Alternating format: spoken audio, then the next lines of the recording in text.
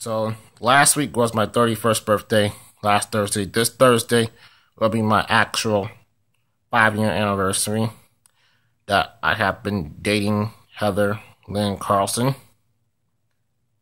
I learned a lot from my beautiful girlfriend.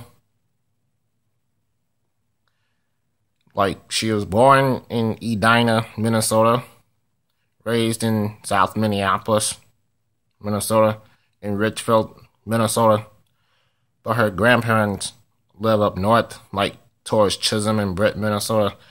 And then she met her best friends. She met one of her best friends named Cassie Otis from Virginia, Minnesota. She lived and her other former best friend, Brittany Pearson, lived in Mountain Iron, Minnesota,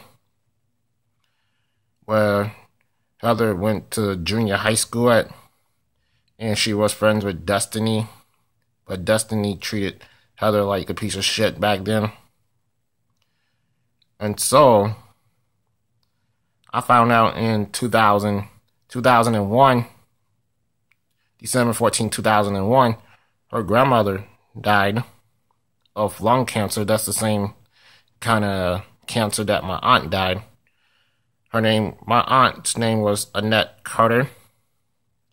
I used to call her Auntie Ned. That was my mom's sister and she died on January 13th, 2010.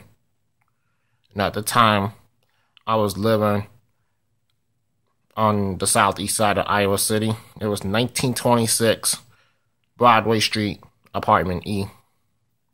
I was living off campus at the time, and I was dating that bitch named Christy. I'm not gonna tell her full name, but she, she was my ex fiance. She was a bitch came June 18th, 2010.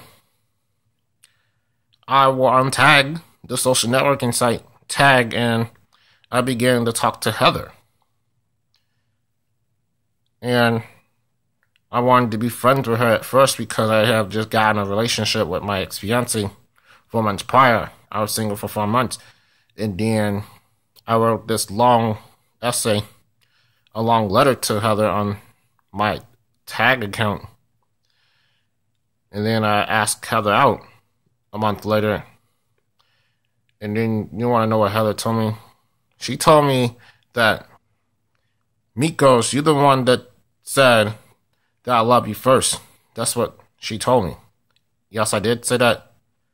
Then also in 2011, when I first moved to Apple Valley, Minnesota, it was my future mother-in-law, Laura May Maddox told me.